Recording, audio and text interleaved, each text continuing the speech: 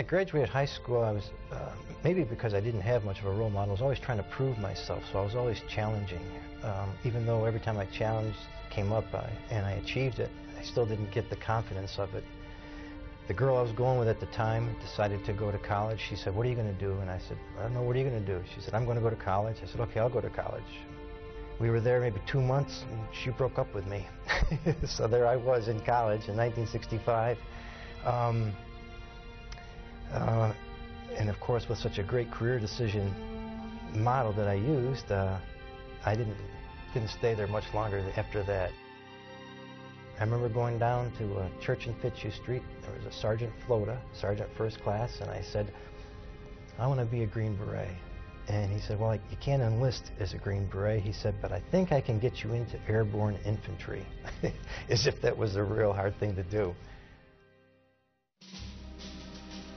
Gary Beikirch enlisted in the Army and eventually earned his way into the U.S. Army's Special Forces. Following a deep desire to help others, he received his advanced training as a medic.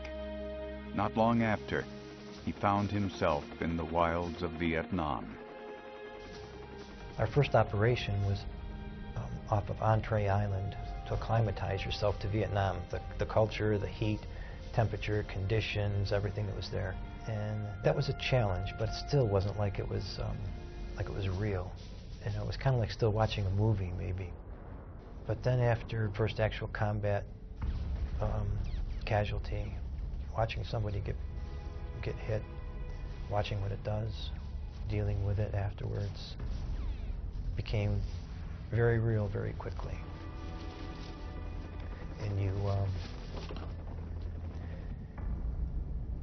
you really start to begin to fight uh, having the walls and the doors close in your life because you know that once those doors close, it's going to be awfully tough to get those open again. But you know that if they don't close, some pretty precious parts of you are going to die. In 1967, Beikirch was serving with the 5th Special Forces Group operating out of Kon Province. There, he and his 12-man team were assigned to protect a village of Montagnard tribesmen in the province's central highlands most people don't realize this, but Special Forces really is teachers above all else, because that was our job. Um, we were to go in and we were to uh, bond with the civilians in an area and to find those that we could utilize and train them to become um, our assistants. I fell in love with Vietnam, maybe because I moved around so much and I never really had a home, but for me, I went native. I, I lived with the Montagnards in the jungle. Um, in our, in our jungle camp. And uh, there'd be days that I wouldn't even speak any English. I was a 23-year-old kid, but who was responsible for the welfare of the 2,300 people in the camp. There were men, women, um, children, the 12 Americans, and we had about 400, 500 men who actually bore arms. The rest were all women and kids. Early morning of April 1st, 1970, the North Vietnamese decided to overrun the camp. So they started shelling rocket incoming artillery.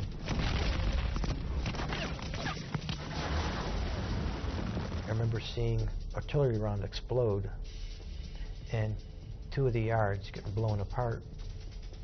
And I hit cover, and then I saw one guy that was still wounded right there. So I started trying to patch up some of his wounds. And uh, I heard another 122 coming in. You could tell a 122 millimeter rocket. It sounds like a train coming. I remember feeling like I got kicked by a horse. And I remember trying to get up, and I couldn't move. Um, and I found out that what had happened was that the shrapnel embedded in the spinal column and knocked out my spinal cord. It was like a concussion to the spinal cord, and I couldn't move. Badly wounded and unable to walk, Beikirch enlisted the aid of two of his Montagnard assistants who carried him around the compound to help the wounded. Not many people know what it's like to be under fire and then have somebody yell out medic, except those who are medics. And they don't know what takes place inside of you that causes you to get up and go when everybody else is hiding, you know, and ducking. Bác Sĩ, which is Vietnamese for doc. I hear that all the time. At night when I try to sleep, I hear calls of Bác Sĩ, Boxy, and screams. I remember going over and trying to help the other medic, Dan. I remember doing some surgery while Dan, helping Dan tie off some some bleeders, doing some other surgical procedures, but I collapsed. And uh, when Dan finally took a look at me, the, I had gotten shot and run to come through here and come out here. And he said, "Oh my God, you're." "Dan, you don't say that. You know, that's one of the things we learned in medic is you don't stand over a guy and go, "Oh my God." You know? but I said, I remember telling Dale, I said, "If I'm going to die, I'm not dying down here, Dale. Get me out of here." Bleeding heavily and barely conscious, Beikirch returned to the battlefield and was dragged from one wounded comrade to the next, administering aid until he could no longer carry on.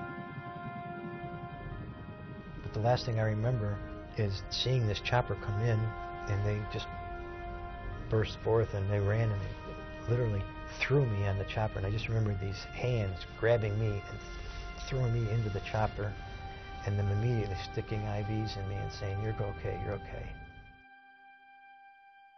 I finally did get out. I went back to college, um, switched my major to pre-med because now I thought I was on a, a, better career path, something that I really wanted. But um, it wasn't too long, maybe three or four months, 1971 college campuses were not the place to be for a military guy. And I got spit on, called a baby killer, uh, and I just said, I can't take this. Um, and so I packed my van and took off. One day I went out riding, up, saw this path that said Appalachian Mountain Trail, so I did a hike up into the woods up in Mount Washington, I found a nice little spot, a nice little cave. I said, this is beautiful. So I would sit there, lived in the cave, played guitar, wrote in my journal, and that became my home. One day I went in to get my mail in the post office, and there was a, a note that said, um, be down at the local inn at 6 o'clock. There's a phone call for you coming in from Washington. Fixes. I'm in this old New England country inn talking on the phone. By that time, my hair's down to here. Um, and I go, hello, and he goes, yeah, this, this the Gary Beikirch that was with the 5th Special Forces? I said, yeah. But he said, um, it's my pleasure and my honor to tell you you've been awarded the Medal of Honor. And I remember distinctly saying, oh. And that was it. it you know, all of a sudden, everything started coming back. And things that I've been trying to forget, things that I went to a cave to hide from, um, all came back. President Nixon gave us the medal. And um, afterwards, I stayed in my motel room. I didn't feel like celebrating. I, I had a real tough time remembering all that stuff again. And many of the guys in the society will tell you that for years I did not participate in any events. I wouldn't come to the inaugurals. I wouldn't come to conventions um, because I didn't. I still don't feel worthy. But it was it was just too difficult of a thing for me to bear. But I've um, there's a verse in the Psalms that says that man that is in honor and understands not is like a beast that perishes.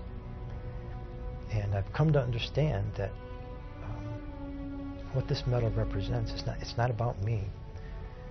And it's not about anything that I've done, but it's about men and women who value something so strongly that they'd be willing to die for it. And they'd be willing to defend our country for it. And so they put on the uniform. And for every man and woman who puts on that uniform, and puts themselves in a position where they have to defend or may die from the country, that's what this medal represents now. It's a symbol of, of a valuing of something greater than self. It's a tremendous, tremendous legacy. It's a tremendous, tremendous honor to be able to hold something like this and wear it.